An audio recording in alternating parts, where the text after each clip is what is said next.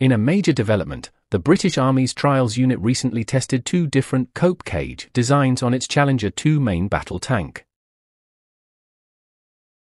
These protective cages, made of steel and fiberglass, are intended to shield the tank from drone threats.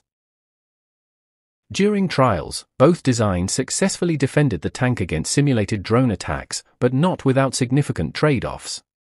The fiberglass version, while about 50% lighter than steel, was criticized by crew members for drastically reducing situational awareness. Even the tank's remote weapon system became nearly unusable. Another downside, installing or removing these cages took many hours, meaning they may not suit rapid deployment. Because of these difficulties, trial leadership concluded that cope cages are effective, but should be considered only for emergency use, especially when facing swarm drone attacks. Looking ahead, the British Army is upgrading many of its Challenger 2 tanks toward the Challenger 3 standard, which includes new armor and active protection systems.